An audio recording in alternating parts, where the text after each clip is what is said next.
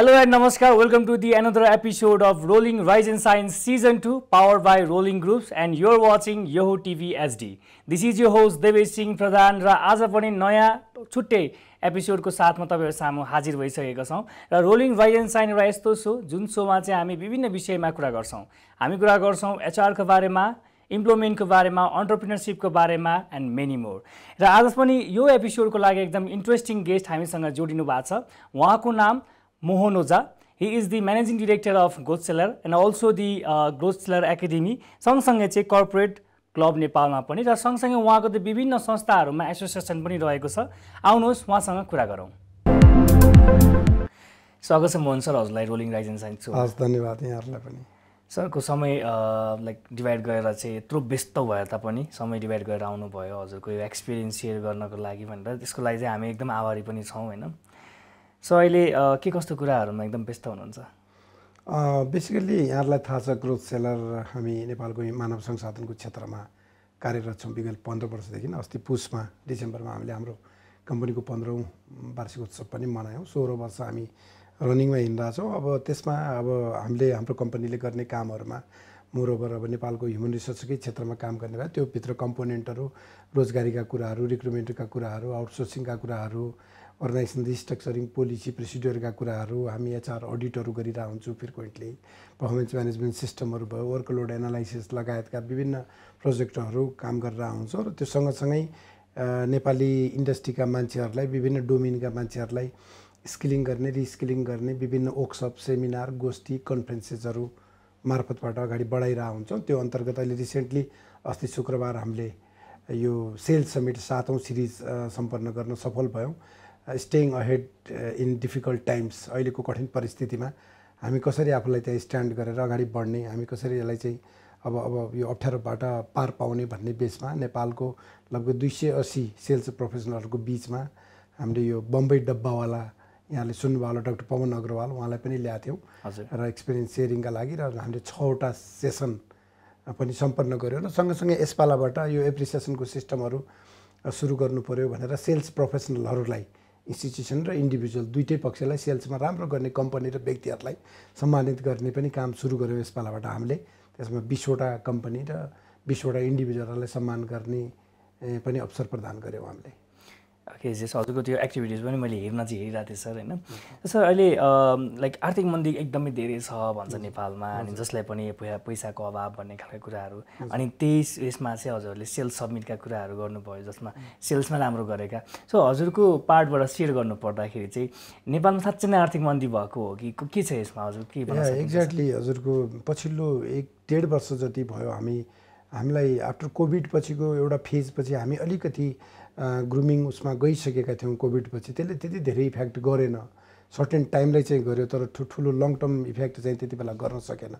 तर अहिले पछिल्लो समय जुन होल तपाईँको यो कोभिडले इन्टरनेसनल लेभलमै जुन तपाईँको अवसरहरू चाहिँ बाट बाहिर निक्ल्यो जुन तपाईँको इभन युएस अमेरिका यो युएस अनि युरोप अस्ट्रेलिया लगायतका कन्ट्रीहरूमा भएका नेपालीहरूसँग पनि हाम्रो त बिहानै साँझै कुरा भइरहेको हुन्छ सो त्यहाँ रोजगारीहरू गुम्न थालिसकेपछि त्यो पार्टमा हिट गर्यो त्यसको रिसेसनको अप्स के अरे ऊ चाहिँ असर चाहिँ अहिले पछिल्लो समय हामीलाई आएर पऱ्यो भने ब्याङ्कको ब्याज दर हामी एट एट पोइन्ट फाइभको ब्याज दर चौध पन्ध्र पर्सेन्टमा।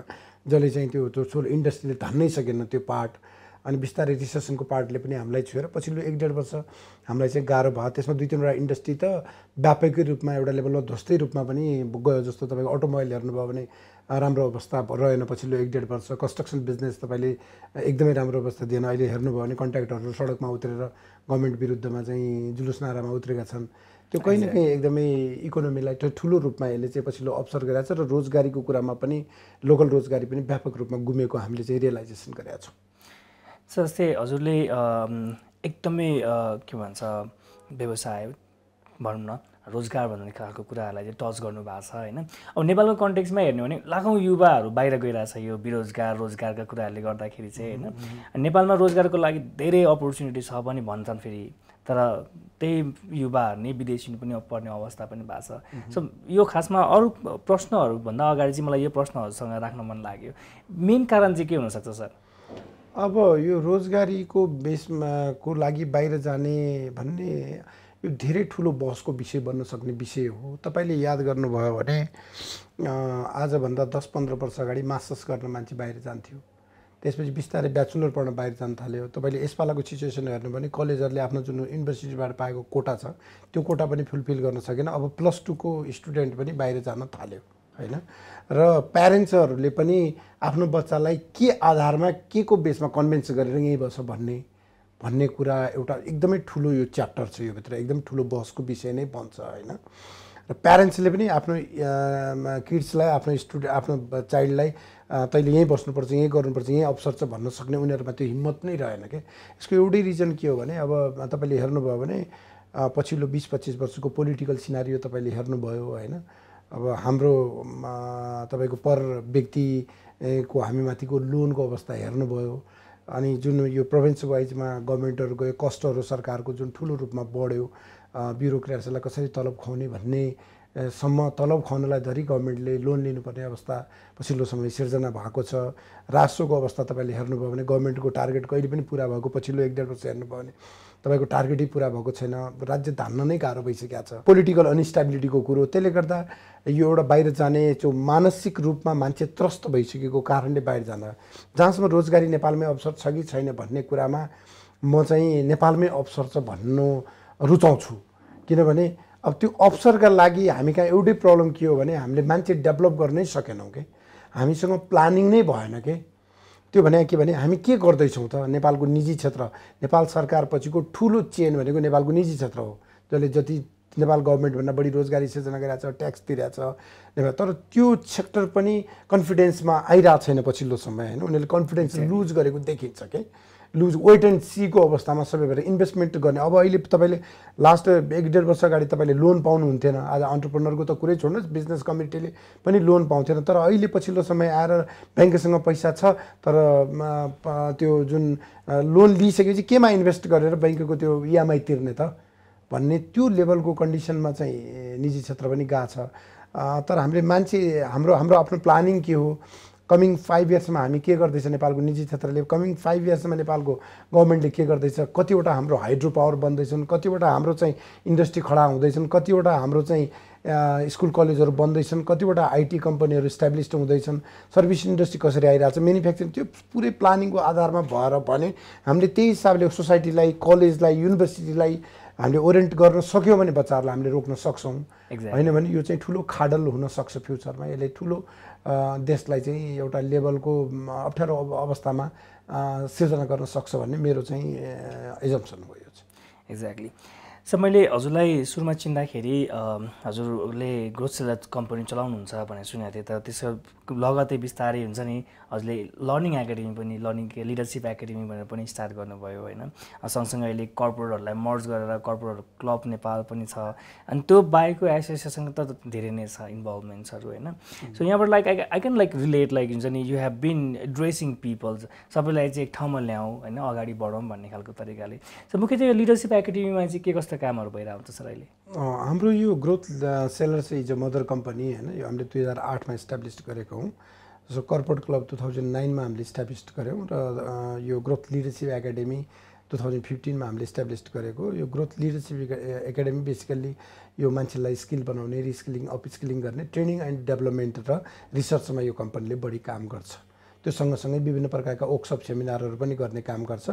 कर्पोरेट क्लबले चाहिँ तपाईँको मोरओभर नलेज बेस्ड इभेन्टहरू चाहिँ म्यानेज गर्ने नलेज यसले म्यागजिन पनि निकाल्छ द एचआरएम नेपाल तपाईँले सबैतिर देख्न सक्नुहुन्छ अहिले त्यो पनि गर्छ त्यो बाहेक अन्य गतिविधिमा पनि कर्पोरेट क्लब संलग्न छ। र रिमाइनिङ कामहरू एचआर रिलेटेड सबै कामहरू चाहिँ हामी ग्रोथ सेलरबाट गरिरहेछौँ। ओके सो भनेपछि अहिले युवाहरूलाई अथवा जो चाहिँ रोजगार गर्छु के अरे क्षेत्रमा छिर्छु भनेको छन् अथवा बेरोजगार भएर बसिरहेको छन् उनीहरूको लागि एउटा लर्निङ एउटा प्लेटफर्म हजुरले क्रिएट गर्नुभएको छ। हजुर होइन? सो यो लर्निङ मैले मेरो प्रश्न हजुरलाई किन थियो मैले यसरी किन अलिकति घुमाइरहेको थिएँ भन्दाखेरि मेरो यसमा प्रश्न थियो कि जस्तै तालिम गर्नुपर्छ भन्ने कुरा सबलाई थाहा छ होइन? केही पाउनको लागि त गर्नै पऱ्यो होइन? तालिम गर्नुपर्छ भन्ने थाहा छ। तर तालिमका कुराहरू पनि एकदम महँगो भएकोले गर्दा कतिपय तालिम नगरिकन बसेका पनि छन् जसले गर्दाखेरि बेरोजगार झनै बेरोजगार भएर बसिरहेका पनि छन्। सो यो पार्टमा चाहिँ लाइक ग्रोसर मात्रै नभइकन अरू विभिन्न संस्था जस्तै ट्रेनिङ इन्स्टिट्युसन चलाइरहनु भएको छ होइन? सो सबै त्यसमा हेर्ने हो भने प्रायः फीका कुराले गर्दाखेरि पनि कोही एकदम पोटेन्सियल मान्छे छ भने उसले चाहिँ अब छ बेरोजगारै भएर बस्नुपर्ने अवस्था देखिन्छ कि? सो यो पार्टमा चाहिँ के भन्नुहुन्छ हजुर? यो लर्निङ एन्ड डेभलपमेन्टको प्रस्पेक्टलाई तिनवटा क्षेत्रबाट केलाउनुपर्छ जस्तो लाग्छ मलाई। पहिलो समाजमा आउने युनिभर्सिटी भनेको समाजमा आउने ठुलो फ्याक्ट्री भनेको कलेज स्कुलहरू हो जहाँ चाहिँ हाम्रो बच्चाहरूले त्यहाँ पढ्छ। अनि त्यो मेन चाहिँ त्यो कलेज स्कुलहरूले चाहिँ त्यो एकाडेमिक त्यो पर्सेन्टेज भन्दा पनि एउटा लेभलको स्किल चाहिँ सोसाइटीमा कस्तो मान्छे चाहिएको छ नेपालको इन्डस्ट्रीमा कस्तो मान्छे चाहिएको छ के स्किल चाहिँ डेभलप गरेर हामीले चाहिँ बच्चालाई चाहिँ समाजमा पठाउनु पऱ्यो भन्ने कुराको पहिलो ऊ नै तपाईँको फ्याक्ट्री भनेको युनिभर्सिटी र कलेजहरू हुन्। त्यहाँ सोच्नु पऱ्यो पहिला। हामीले त्यो एडभोकेसी अहिले गरि नै रहेछौँ गरि नै रहेछौँ कलेज युनिभर्सिटीहरूसँग त्यो एडभोकेसी गरिरहेछौँ। सो तिमीले चाहिँ करि युनिभर्सिटीको करिकुलम मात्रै पढाउने हुने कि? त्यो भनेको एउटा कम्पोनेन्ट हो। तर मोरओभर नेपाली बजारलाई के चाहिएको छ? त्यो स्किलमा त्यो चार वर्ष ब्याचलर पढ्ने बेलाको या दुई वर्ष मास्टर्स पढ्ने बेलाको या प्लस टू दुई वर्ष पढ्ने बेलाकोमा बच्चालाई बजारमा चाहिने अहिलेको एक्काइसौँ शताब्दीको जुन हामीलाई जेनेरेसन चाहिएको छ त्यो जेनेरेसन चाहिँ त्यहाँबाट डेभलप गरेर पठाउनुपर्छ भन्ने एउटा प्याटर्न भयो। अर्को जो स्किल अहिले मान्छे जुन जबमै छ अलरेडी त्यो जबमा भएको मान्छे पनि त्यहीँबाट पारङ्गत हुने होइन। म एउटा कुनै एचआर म्यानेजर भएर कुनै कम्पनीमा गएँ या सेल्स म्यानेजर भएर गयो भने म त्यतिले पुग्दैन। म मेरो विषयमा दक्ष भएँ कि? म मार्केटिङमा दक्ष भएँ सेल्स तर त्यतिले पुग्दैन कि? म त एउटा लेयरमा पुगेपछि एउटा ठाउँमा पुग्छु नि त मैले कम्पनी लिड गर्नुपर्नेवाला मैले त अर्गनाइजेसनै लिड गर्नुपर्नेवाला मैले त त्यो सयौँ मान्छे लिड गर्नु पऱ्यो मलाई त म म म मार्केटिङको मान्छे हो भने मलाई त एचआरको नलेज हुनु पऱ्यो नि त। मलाई त फाइनेन्सियल नलेज हुनु पऱ्यो नि त। मलाई त लिडरसिपको नलेज हुनु पऱ्यो नि त। अनि म सिओ गर बन्ने हो नि त। होइन? सो त्यो बेसमा त्यो मान्छेलाई पनि रिस्किलिङ अपस्किलिङ गर्नुपर्ने छ र अर्को चाहिँ मास बेसको मान्छे। आम पब्लिक जो चाहिँ यस्तोलाई यस्तोमा चाहिँ नेपाल सरकारले जो मास बेसमा जो आठ क्लास पढाएको छ नौ क्लास पढाएको छ पैसाका कारणले पारिवारिक कारणले पढ्न सकेको छैन जसको जो चाहिँ नेपाली समाजमा ठुलो भोलम छ ठुलो भोलम छ यो भोलमको केसमा चाहिँ हामी जस्ता दुई चारवटा इन्स्टिट्युसनले केही पनि गर्न सक्दैनौँ। हाम्रो बलबुता भन्न बाहिरको विषय हो यो। अनेस्ट बोलिदिएको मैले तपाईँको टेलिभिजन च्यानल मार्फत। यो के हो भने यो नेपाल सरकार सामान्य प्रशासन मन्त्रालय अर्थ मन्त्रालय र श्रम तथा रोजगार सामाजिक सुरक्षा कोष मन्त्रालयले गभर्मेन्टले एउटा ठुलो बजेट यसमा छुट्याएर नेपालका निजी क्षेत्रका प्रतिनिधिमूलक संस्था उद्योग वाणिज्य महासङ्घ सिएनआई च्याम्बरहरूसँग मिलेर अनि हामी जस्ता इन्स्टिट्युसनहरू जसलाई स्टेक होल्डर उनीहरूले भन्छन् स्टेक होल्डरलाई मिलाएर हामीलाई चाहिँ जिम्मेवारी दिनु पऱ्यो नेपाल सरकारले कि तिमी प्रोभिन्स वानमा हेर तिमी प्रोभिन्स दुईमा हेर तिमी प्रोभिन्स उनीहरूको आफ्नै पनि त ठुलो अर्गानोग्राम छ नि त। देशभरिमा उनीहरूका त विभागहरू छन् नि त। होइन लोकल गभर्मेन्ट छ तपाईँको प्रोभिन्स गभर्मेन्टहरू छ त्यो एउटा हातेमालो बनाएर प्याकेज बनाएर किन गभर्मेन्ट आफैले पनि केही गर्न सक्दैन। उनीहरूसँग बजेट भएर पनि गर्न सक्दैनन् दे निड अ एक्सपर्ट र त्यो त्यो चिज उनीहरूको आफ्नो दैनिकी अफेयर्समै उनीहरू यति बिजी हुन्छ कि त्यो बजेटले केही काम गर्दैन। फेरि प्रोक्युरमेन्ट एक्ट तपाईँलाई नेपाल सरकारको थाहा छ। त्यो त्यो पत्रिकामा खोल्नुपर्ने त्यसको पैँतिस दिने सूचना निकाल्नुपर्ने अनि त्यसलाई चाहिँ प्याकेजमा हाल्नुपर्ने। त्यो गर्दा गर्दै वर्ष बितिसक्छ कि। बजेट अनि फ्रिज भएर बस्छ। सो यो मास बेसलाई चाहिँ सङ्घीय सरकार प्रोभिन्स गभर्मेन्ट सरकार र यो स्थानीय सरकारहरूको कोलाब्रेसनमा नेपालको निजी क्षेत्रसँग सहकार्य गरेर यसलाई एउटा चाहिँ एउटा चाहिँ अभियान नै बनाएर नेसन वाइड अगो पाँच वर्षमा हामी हामीलाई चाहिने म्यान पावर यो यो इन्डस्ट्रीमा चाहिने यो यो म्यान पावर यसरी डेभलप गर्छौँ भनेर उनीहरूले एउटा प्याकेजमा निजी क्षेत्रसँग सहकार्य गरेर काम गर्यो भने अन्य मात्रै सम्भव छ। यो नेपालको निजी क्षेत्रले मात्रै यो एड्रेस गर्नै सक्दैन। अनि सँगसँगै सायद सरले भन्नुभएको पोइन्ट एकदमै स्ट्रङ पनि छ होइन एकदमै गर्नुपर्ने र एकदम महत्त्वपूर्ण भइसकेको छ अहिलेको कन्टेक्समा किनभने हामी सधैँभरि एउटै वातावरणमा बसिराख्न चाहँदैनौँ होइन त्यही वातावरण नमन परेन कतिपय विदेशी नै क्रम भइरहेछ नि त। सो यसमा चाहिँ अब सर संस्था मात्रै नभइकन आम मानिस जो चाहिँ त्यो कुराहरूमा एकदम इन्ट्रेस्टेड छन् उहाँहरूले आफूले आफूलाई पनि अलिकति तालिम चाहिँ पऱ्यो माइन्ड स्ट्रङ गर्नु पऱ्यो होइन।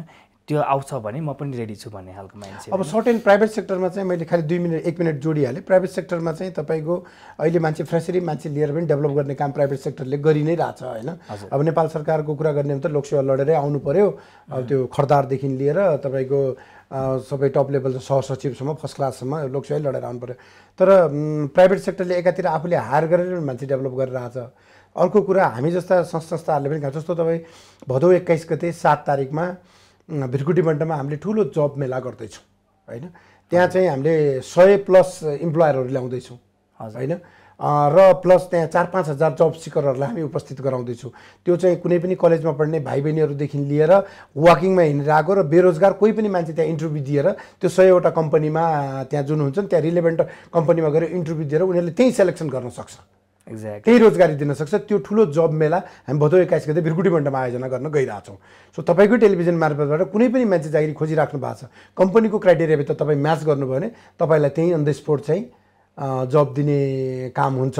त्यसैले यो चिजमा तपाईँले चाहिँ भदौ एक्काइस गते बिहानको आठ बजेबाट बेलुकी पाँच बजीसम्म तपाईँ भिरकुटी मण्डपमा आउनुभयो भने सर्टेन मान्छेहरू हामीले चाहिँ दुई चार दुई तिन सय मान्छेलाई त्यहीँ डाइरेक्ट रोजगार दिने भन्ने हिसाबले चाहिँ हामीले चाहिँ प्लान गरिरहेको छौँ हाम्रो सबै हाम्रो लगभग एक सय साठी सत्तरीवटा कलेजसँग हाम्रो कम्युनिकेसन सुरु भइसक्यो उनीहरूको विद्यार्थीहरू पनि त्यहाँ आउँछन्। सडक बाटोमा हिँड्ने वाकिनमा पनि मान्छेहरू आउँछन्। र अहिले जब मार्केटमा भएको जसले आफूलाई चाहिँ अपग्रेडेसन गर्न खोजिरहेछ ती मान्छेहरू पनि त्यहाँ आउँछन्। त्यो बेसमा हामीले जब फेयर गर्दैछौँ। र त्यसमा पनि त यस्ता खालका गतिविधि अरू पनि भइरहेको हुन्छन् सो तपाईँहरूले त्यो आम पब्लिकमा जो बेरोजगार हुन्छ तपाईँहरूले यस्तो चिजहरूमा ध्यान दिनुभयो भने तपाईँहरूलाई चाहिँ रोजगार छ नि त तर म मेरो कुरो चाहिँ तपाईँले आफ्नो स्किल डेभलपमेन्टमा चाहिँ फोकस हुनु पऱ्यो भन्ने मेरो एक्ज्याक्टली एक्ज्याक्टली सर सर यो एउटा गम्भीर प्रश्न सँगसँगै अब चाहिँ हजुरको एकदम स्पेसल स्पेसालिटीको बेसिसमा चाहिँ कुरा गर्न चाहे सर होइन? जस्तै अहिले कोभिडको भइसके पछाडि पनि त्यो कुराहरू निस्किरहेको हुन्छ। कोभिडले गर्दाखेरि अवस्था यस्तो छ भन्ने कुरा बेला बेलामा आइरहेको हुन्छ होइन? जस्तै सँगसँगै यो एच एचआरको पार्टमा पनि कोभिड पछाडिका दिनहरूमा हेर्ने हो भने कतिपय कन्टेक्समा अहिले एआई टेक्नोलोजी भन्ने खालका कुराहरू थपिया छन् होइन? सफ्टवेयरहरू डेभलप भएको छन् जसले गर्दाखेरि एचआर कम्प्लिटली एचआरकै मान्छेहरू पनि त्यति धेरै इङ्गेज नहुनुपर्ने खालको एउटा सिस्टमिक डेभलप भइसकेको छ। आगामी दिनहरूमा यो खालको गतिविधिले चाहिँ कम्प्लिटली एचआर नै हराउने पो हो कि अथवा सिस्टममै भर पर अगाडि बढ्नु हुँदैन के भन्नुहुन्छ हजुर? ए होइन त्यस्तो होइन। अब हामी अहिले यो सुरुवाती अवस्थामा मात्रै छौँ।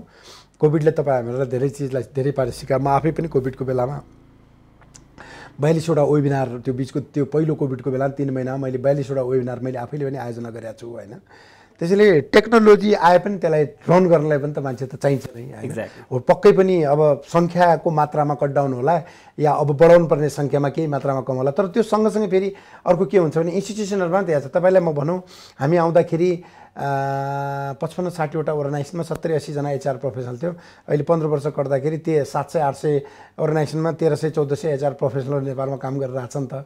होइन मैले कोर एचआर प्रोफेसनलहरू काम गरिरहेको छ भने। तपाईँको त्यो जति मान्छेको सङ्ख्या कम हुँदै गएर पनि त इन्स्टिट्युसनको तपाईँले एभ्रिडे कति कम्पनी रजिस्ट्रारमा कम्पनी दर्ता हुन्छन् र कति बन्द हुन्छन् त्यो त्यो लाइनलाई पनि हेरौँ एकातिर। अनि एचआरको इम्पोर्टेन्स कति मान्छेलाई रियलाइजेसन हुँदै गएको छ बिस्तारै। होइन पछिल्लो समय त अझ कोभिडपछि त अझ धेरै रियलाइजेसन भएको छ मान्छेलाई।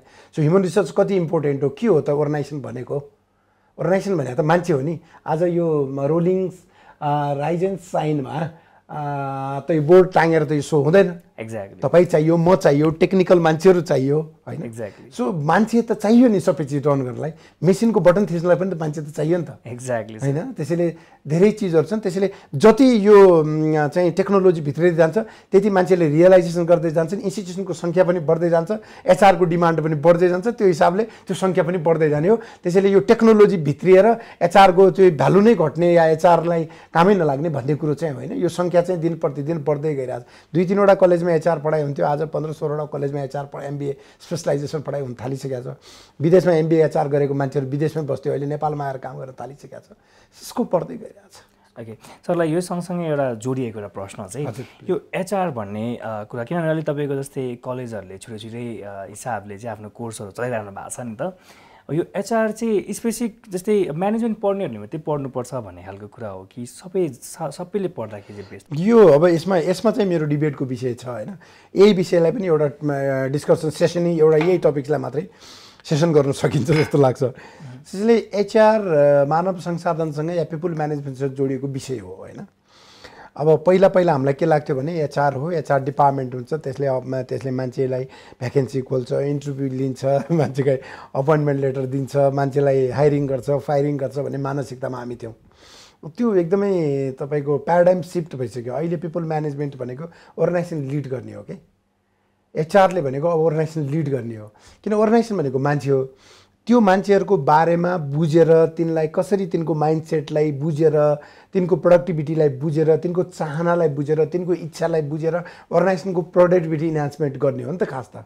सो त्यो काम एचआरले गर्ने हो एउटा कुरा।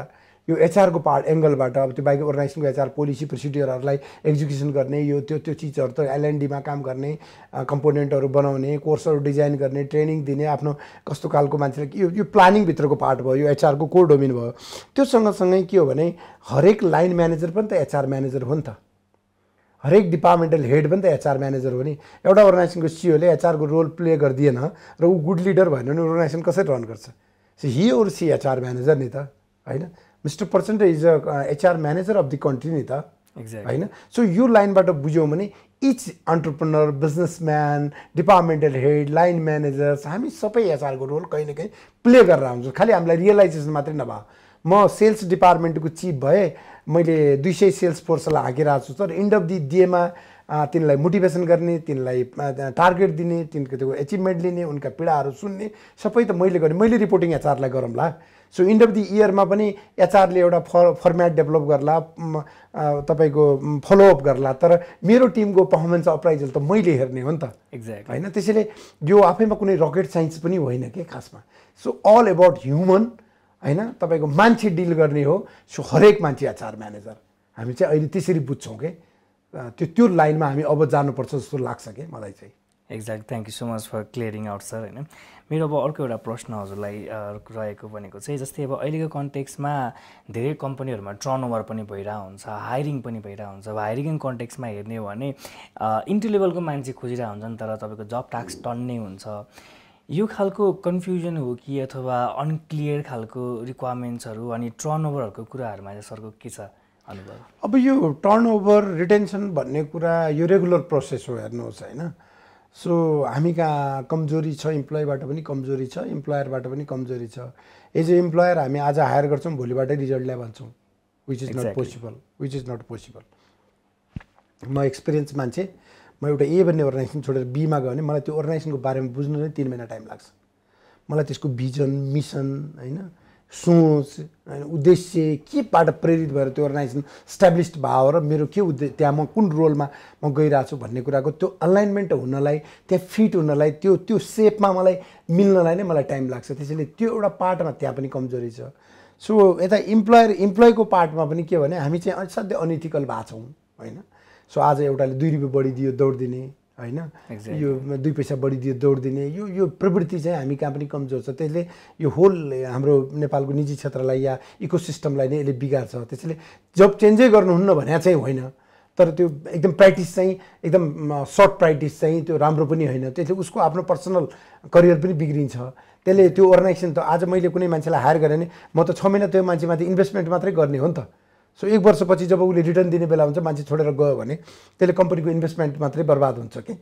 तर ह्याभिङ सेड द्याट के पनि हो भने फेरि यही इन्डस्ट्रीको मान्छे यही इन्डस्ट्रीमा अर्को इन्डस्ट्रीमा गयो भने फेरि उसले त्यो एक्सपिरियन्स त्यहाँबाट अर्को त्यही इन्ड यही नेपाली इन्डस्ट्रीमै उसले त्यो पोख्ने हो।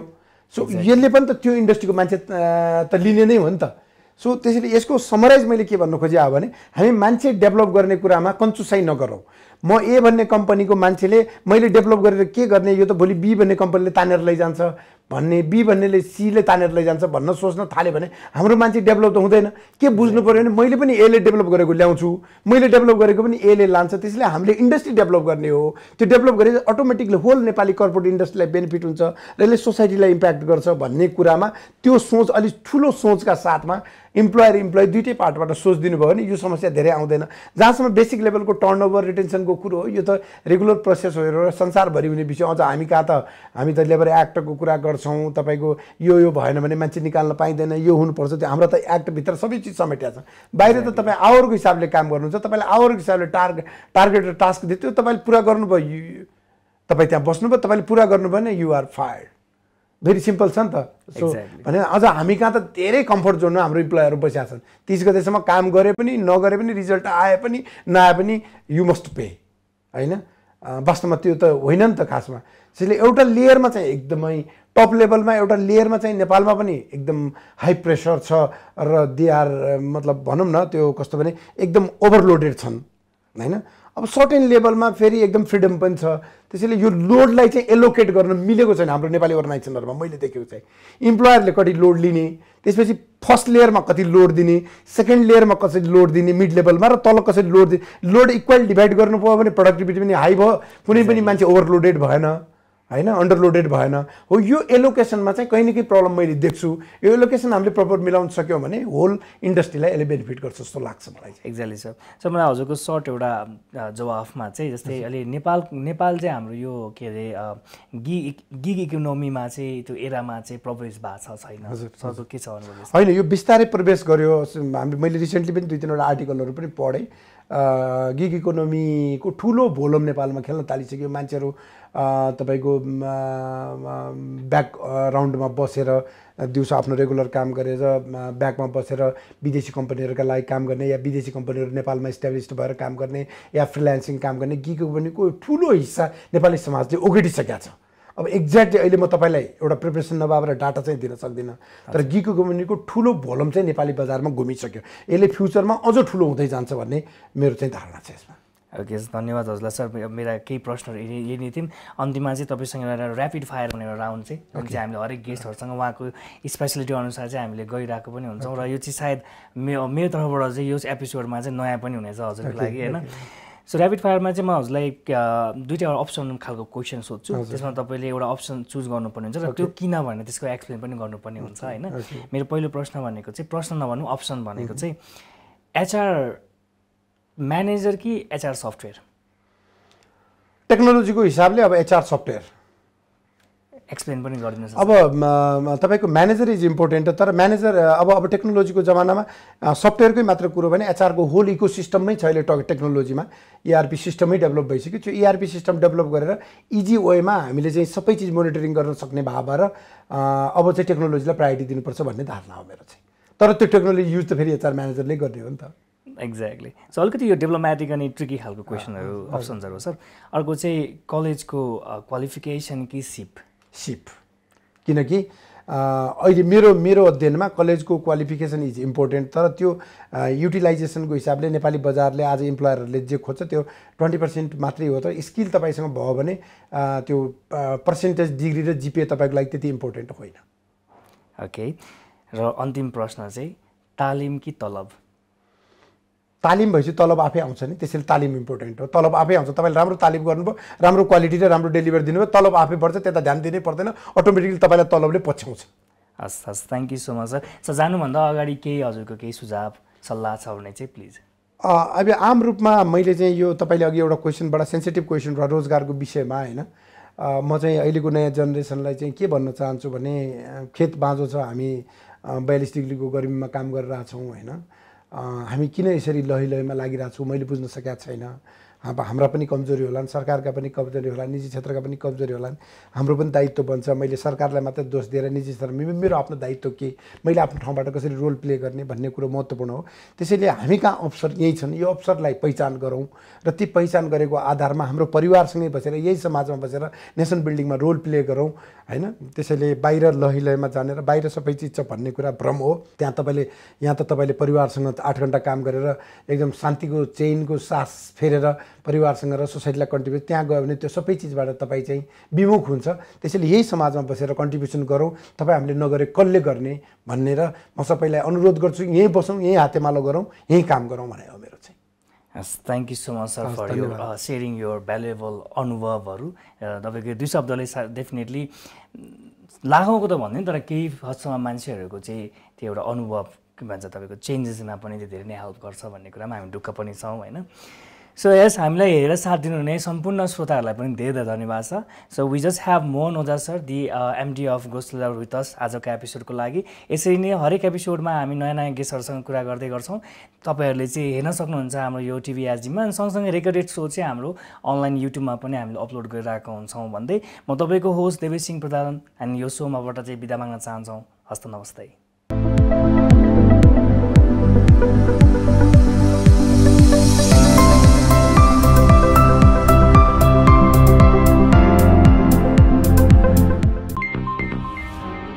अनलाइनको भिडमा एउटा छुट्टै पहिचान र तथ्यपरक समाचार सहित अर्थरोजगार डट कम। देशको अर्थतन्त्र साना हुन् वा ठुला औद्योगिक हुन् वा घरेलु सबै हाम्रो प्राथमिकतामा। वैदेशिक रोजगारीका व्यथितिमाथि सिधा अनि खरो प्रश्न। सटिक र तार्किक ढङ्गले तपाईँका हरेक जिज्ञासाको उत्तर खोज्नेछौँ। मात्र अर्थरोजगार डट कममा। तपाईँले हामीलाई W W W dot अर्थरोजगार dot com र फेसबुकमा र ट्विटरमा एकैसाथ पढ्न र हेर्न सक्नुहुनेछ।